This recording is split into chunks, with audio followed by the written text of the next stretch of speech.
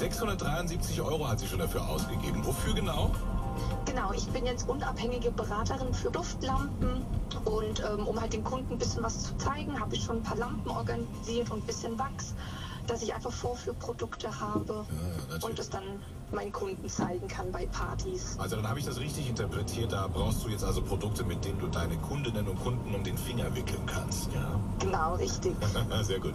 Und wo verkaufst du das dann? Entweder auf Partys, ähm, ich habe jetzt vor, auf Weihnachtsmärkte zu gehen oder über Online-Partys. Also wir halten Ausschau nach Sina in Unterfranken auf den Weihnachtsmärkten. Da werden wir sie finden mit ihren Duftlampen. Ja, Wir drücken dir ganz, ganz, ganz fest die Daumen, dass das äh, klappt mit deinem neuen beruflichen Standbein, dass du dir das da ordentlich aufbauen kannst. Wir unterstützen das auf jeden Fall sehr, sehr gerne Antenne Bayernzeit.